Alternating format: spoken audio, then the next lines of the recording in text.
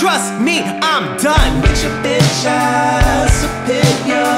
This generation's got me uh, fucked up. Get your internet culture away And suddenly everyone wielding a smartphone is a politician.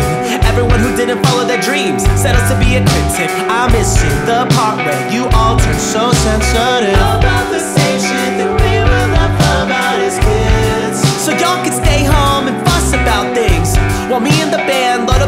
another road trip.